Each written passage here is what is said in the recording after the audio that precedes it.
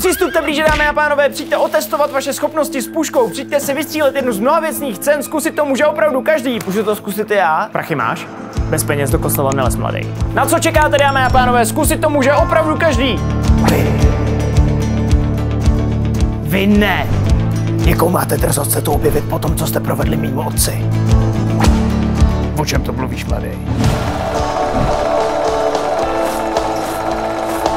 Za 40 let fungování tohle stánku se ještě nikdo plišáka nevystřílel. Nikdo plišáka nevystřílel.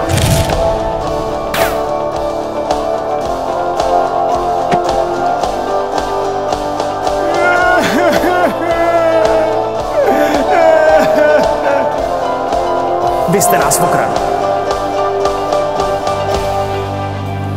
Ale já budu mít svoji pomstu.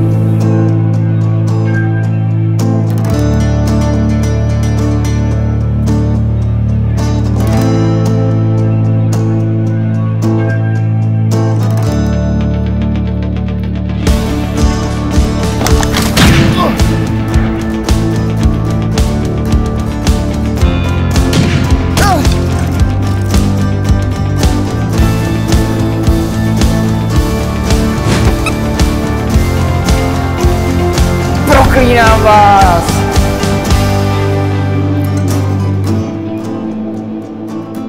A to je dnešní díl.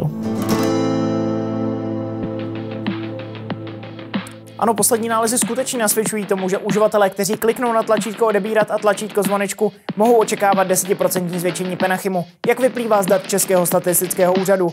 Více informací na tomto nebo tomto videu. Pro radiožurnál Michala van Erne.